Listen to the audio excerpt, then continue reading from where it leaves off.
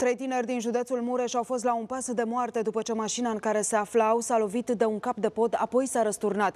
Potrivit primelor informații, șoferul aflat sub influența băuturilor alcoolice circula cu viteză extrem de mare.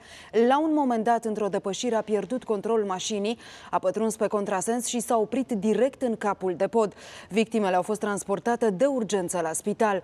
În urma incidentului, polițiștii au deschis deja un dosar penal pentru vătămare corporală din culpă.